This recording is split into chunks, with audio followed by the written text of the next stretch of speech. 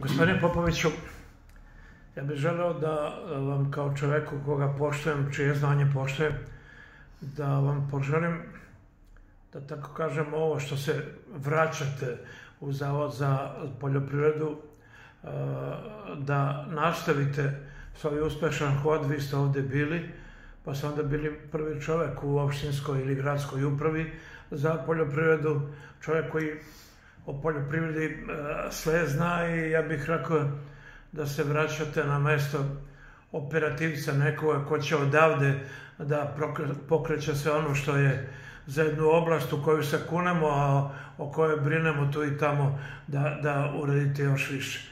Na koji način ste doživjeli to vi, pre svega kao direktor, kao čovek iz, iz ove oblasti? Pa naravno da svaki čovjek u svom životu voli da radi onaj posao za koji se školuje. Mislim da je poljoprivreda stručni savjetodavna služba pravo mesto za svakog inženjera poljoprivrede i da je to mesto gde možete da se na pravi način iskažete i da pokažete koliko vredite i šta znate u svojoj struci. Vi ja smo sarađevali dugo. Ja, onaj period koji ste kao političar uslovno, da tako kažem, radili u, u gradskoj upravi, to sam razumeo da ste na, bili na pravom mestu u onom smislu da ste iz baze došli tamo, dakle možete da, da pomognete, da postaknete, imali ste fond za poljoprivredu veoma dobar, imali rezultati i tako dalje. Kako gledate na taj period sada odavde? E, pa naravno, ja sam kao stručnjak otišao da budem pomoćnik gradonačelnika za oblast poljoprivrede.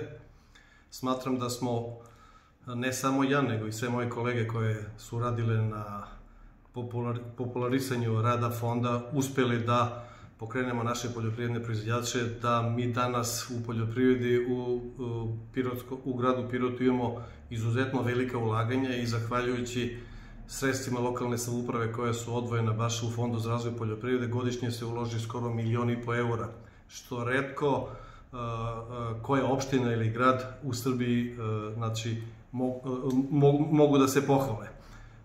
U gradskoj upravi sam za ovih 9 godina stekao i druge iskustva, koje ću ovde primeniti, jer raditi u gradskoj upravi znači raditi u jednom organizovanom sistemu gde se tačno zna šta radite, kako radite, koliko radite.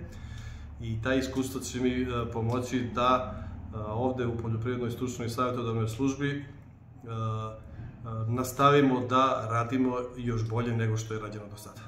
Ja ovo sada doživljavam ove dve odluke koje je donao gradonačelnik ili u konsultaciji sa vama, doživljavam upravo kao dobar potez. Vi ste bili ovde, uh, otišli uh, u gradsku upravu, sada je tamo kao gradski vešnik uh, Milica Mimica Đorđević. Sada je tamo kao gradski vešnik Mimica Đorđević, koja će odavde poneti da tamo u, u veću pokuša da nešto sprovede, a sa druge strane vi pun informacija, stavova, utisaka, pregovora sa vladom, ministarstvom i tako dalje, sada donosite ovde kako bi to unapredili. Mislim da je to dobar potez i da može samo da unapredi poljoprivredu.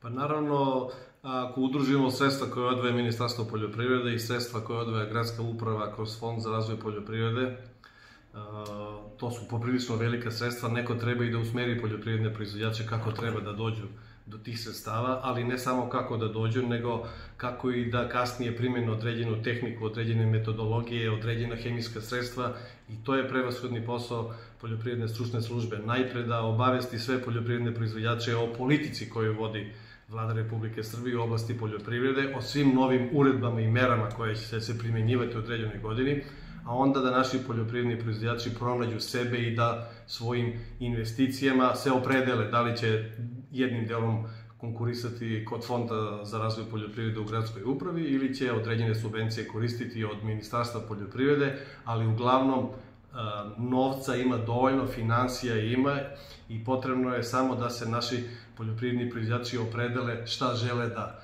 u šta žele da investiraju i nije kao što je nekada bilo, kažem da nema novca, ima dovoljno para za finansiranje, da kažem gotovo svih projekata koje imaju naši poljoprivredni proizvođači. Na osnovu desetogodišnjeg rada ovde i na osnovu devetogodišnjeg rada u gradskoj upravi... 12 godina ovde. 12, kao na... direktor, a 19 godina kao radnik. S obzirom na to da ste ovde u Zavodu za poljoprivredu radili 19 godina, što kao zaposleni, što kao direktor, s obzirom na 9 godina u gradskoj upravi i na saradnju sa ministarstvom, smatram da će sva ta iskustva i znanja koje ste stekli i poznanstva koje imate pomoći da se još više pokrene, jer odavde u stvari sve počinje, odnosno od vaše saradnje sa poljoprivrednicima. Pa naravno... Ja, Ovo je inicijalna kapisla. Ja ću sve te svoje veze, prijateljstva i poznanstva koje potiču još iz 90. godina pa i od 2000. godine koristiti e, kako bi bio, da kažem, što bolji status e, naše službe, e, konkretno mislim na poljoprivrednu stručnu i savjetodavnu službu i Pirotu, a i kako bi status poljoprivrednih proizvođača, naročito ovih koji su tržišno orijentisani, se popravi. Znači da i maksimalno pomognemo e, u savjetima kako bi oni na što lakši i brži način došli ne samo do sredstava koje se koje se, koje se nalazi, da kažem, u budžetu, već i do novih saznanja koje kasnije moraju da primenjuju na svojim gazdinstvima. Kada ste otišli, situacija bila takva kakav je ovde. E, potom ste tamo stekli nova znanja, vratili se, s obzirom na sve što imate sad. Koji će vaši prvi zadaci biti ovde? Naravno, nisam hteo odmah, vi ste drugog seli u ovu fotelju, ali nisam hteo dok malo se ne vratite, da tako kažem, i, i, i vidite šta se događa. Koji su prvi zadaci s obzirom na saznanja?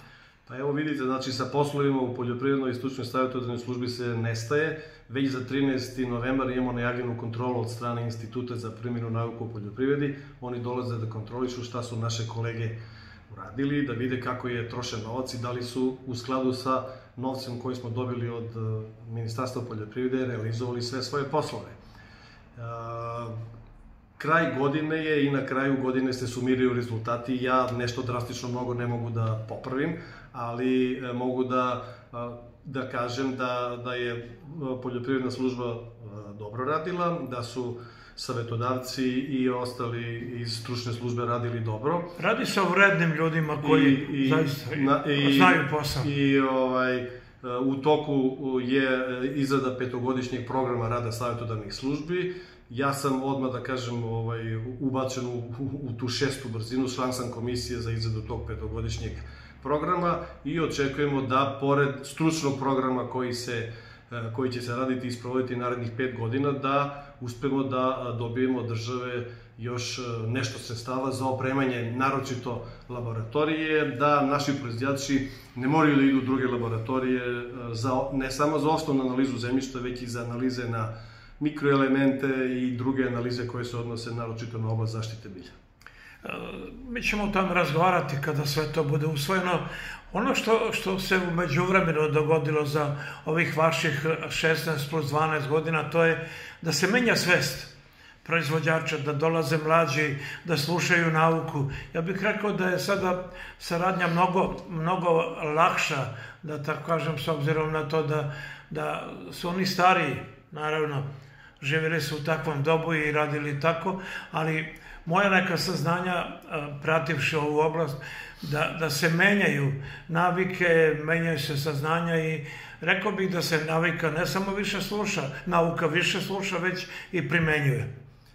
Pa naravno da je bilo poprilično otpora kod, naročito kod starijih proizvođača, ali kao što ste sami rekli, sve e, imamo određeni broj mladih poljoprivrednih proizvođača i neki od ovih starijih su ovaj, konačno shvatili da im je obrazovanje i znanje neophodno potrebno da bi mogli da svoja gazdinstva ovaj, da bi imali prihode i da bi imali da bi mogli jednostavno da posluju u, u današnjim uslovima. Ukoliko ne pratite nauku i ukoliko ne primenjujete neka nova saznanja i neka nova dostignuća, vaše gazdinstvo će ovaj, zaostati u razvoju i jednostavno vi ćete jednog trenutka videti da vam je ovaj, računica negativna i prestaće sa time da se bavite. Dobro je što uh, savjetodavci kroz živu reč, kroz edukacije, kroz stalne posete gazdinstvima njima pružaju... Stalni boravak na terenu. Tako je, stalni boravak na, tene, na terenu, njima pružaju savjetodavne usluge i ono što je najvažnije, sve te savjetodavne usluge su za proizvođače besplatne, jer to plaćamo svi mi kroz poreze, to dobijemo iz budžeta Republike Srbije i to je jako dobro i dobro je što će u narednom periodu sa takvom politikom da se nastavi i cilj nam je da imamo što više tržišno orijentisanih mladih poljoprivrednih gazdinstava, da li u oblasti proizvodnje mleka, u voćarskoj proizvodnji, povrtarskoj ili bilo šta, ali nam je ciljna grupa mladih ljudi. Upravo to, svemu tome ćemo razgovarati. Ono što me u ovom trenutku za kraj interesuje, to je, znam, sećam se kada je krenula registracija, da je tu bilo razmišljanja. E, primenjujete, evidentno je da je sve više registrovanih poljoprivrednih gazdinstava kojima se otvaraju mnogo vrata, do subvencija, kredita i tako dalje. Pa kad je krenula registracija poljoprivrednih gazdinstva, bilo je puno otpora i nepoznanica, ali onda jednog trenutka je registrovan veliki broj poljoprivrednih proizvođača, e, da kažem i onih vikend poljoprivrednih proizvođača i ovih pravih poljoprivrednih proizvođača, to se poprilično poraščistilo, imamo sada i aktivnih i neaktivnih poljoprivrednih gazdinstava, ali jednostavno država je uvela ključ svako ko želi da dobije bilo kakvu subvenciju od države ili od lokalne samuprave mora da ima aktivno registrovano poljoprivredno gazdinstvo i to je taj ključ koji gura napred našu poljoprivredu. Za kraj dolazi vam kontrola, u redu je sve to do kraja godine. E, da, da li planirate neki potez onako značajniji, s obzirom da, da za poljoprivredu dolazi vreme nekakvog čekanja, mirovanja? Pa što se tiče rada službe, kao i, i, i sva ostala privreda, i mi osluškujemo šta se dešava sa koronom.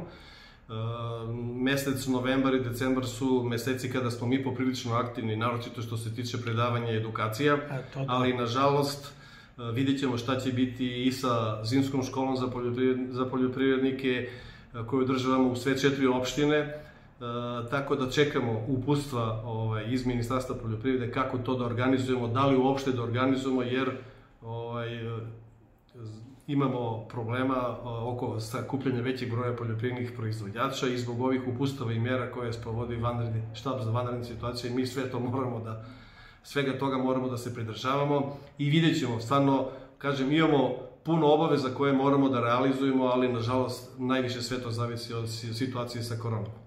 Mi smo, smatramo nas urbanom medijskom kućom, međutim, kako život ide napred, sve više smatramo da poljoprivreda postaje urbana oblast, s obzirom na to da, da se shvatanja kod ljudi menjaju, da, da bi jednog dana oni potpuno shvatili da se radi o farmerima, ljudima bez kojih ne možemo da živimo, tako da, a znajući vas, verujem da ćete nastaviti da radite na toj afirmaciji. Pa naravno, mi ćemo sarađivati dalje sa vama, vidjet ćemo, ja imam neke ideje da pokušamo da ovaj, preko vaših, da kažem, i drugih medija objavljujemo sve ovaj, situacije koje su jako važne za naše poljoprivredne proizvođače, sve preporuke, naročito kada se radi o pojavi štetnih i opasnih bolesti i biljnih bolesti. Tako da vidjet ćemo, proširit ćemo saradnju u svakom slučaju, jer poljoprivredni proizvođači pre svega moraju da budu dobro informisani. Bez dobre informacije, Oni često lutaju i često se dovedemo u situaciju da nam neko iz ministarstva ili negde kaže niste vidljivi, niste prepoznatljivi, ali e, jedini uspeh za vidljivost je znači, nastup preko medija i što više informacije preko medija. Stojimo na raspolaganju, želim vam uspešan rad i neka vaš povratak bude u znaku još boljih odnosa u poljoprivredi ovde u našem kraju. Hvala vam, nadam se da će biti tako.